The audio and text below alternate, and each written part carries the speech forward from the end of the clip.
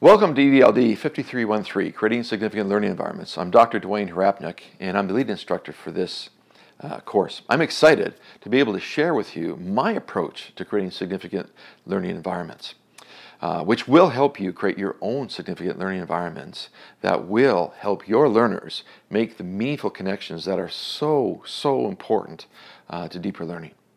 I'll begin by sharing a personal story that has really impacted my thinking and my actions towards learning and learning environments. A few years ago, uh, at a visit to the Whistler Aerodome, commonly referred to as the foam pit, uh, it reaffirmed my belief in the importance and power of learning environments and has caused me to uh, take a more significant stand on the role that the environment and circumstances play in learning. Consider the following.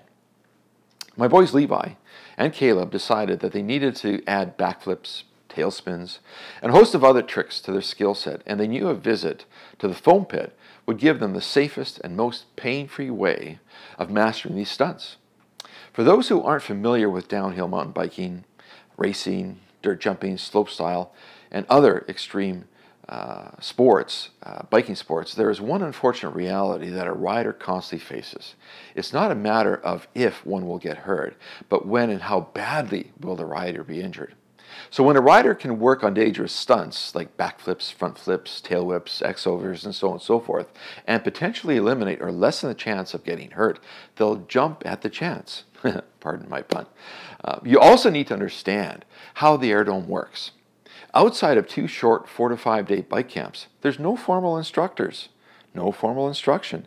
Even in the bike camps, the instruction that happens uh, in the aerodome is less formal and really should be viewed as informal learning, peer-based instruction, or, or really just coaching.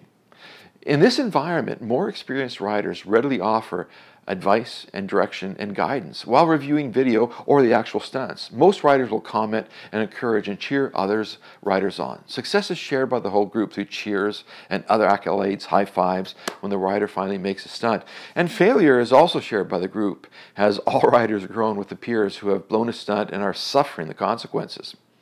Peer instruction and support happens on its own with no formal process. The social dynamic is a very significant part of the learning environment. Unfortunately, videos and pictures do not really full, fully reveal the scale and intensity of the stunts and the space itself. The main starting point for the foam pit is a very narrow platform 25 feet above the ground, and the ramp that riders hit goes from flat to completely vertical in just over 6 feet. The acrobatics are taking place approximately 8 to 12 feet above the foam pit. And when you factor in the six foot height of the foam pit itself, it's not uncommon for a rider to be performing a stunt 14 to 18, maybe even 20 feet above the ground. This is a high risk and high reward environment. I trust that this lead in that I've given you has provided you enough information uh, to sort of create a picture and appreciate what my boys are doing. So after making progress on tail whips, 360s, and a few other stunts, my boys were starting working on the backflip. This is also the point where they started running into problems, and after about an hour of failed attempts, they started looking for answers. I've been observing and recording their attempts, and after reviewing um, the work that they've done, their videos, we all agreed they weren't getting enough rotation.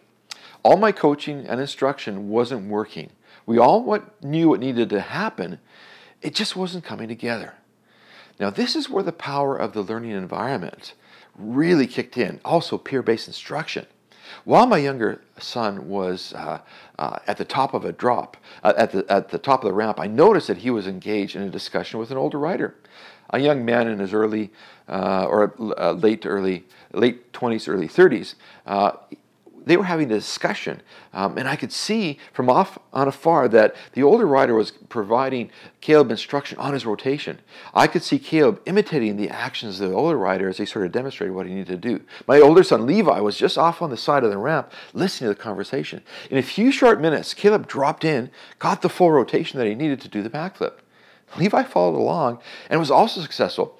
All the riders hooted and hollered and acknowledged my boy's successful stunts. This is the power of a significant learning environment. I have been arguing since the mid 90s that uh, the learning is dependent upon the creation of significant learning environments and the immersion of the learner in those environments. A learning environment can be the Whistler Aerodome or foam pit. A classroom, your classroom, my classroom, an online course, or anywhere for that matter where learning can take place. I've also argued that learning is a responsibility of the learner and that the teachers are not able to make a student learn anything. The best that teachers can do is develop or establish that environment and immerse the student in that environment and then motivate and inspire the learner to take ownership of their own learning.